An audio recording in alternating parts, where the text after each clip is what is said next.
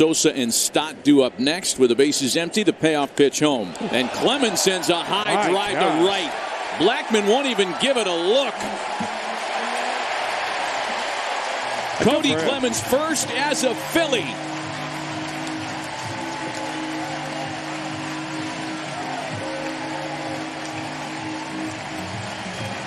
That ball's touched.